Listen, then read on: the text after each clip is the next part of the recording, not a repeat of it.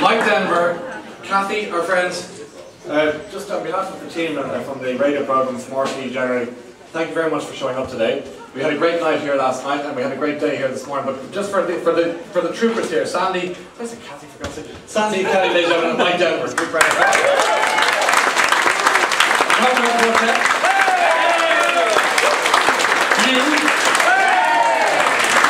Anyone called the We're all related.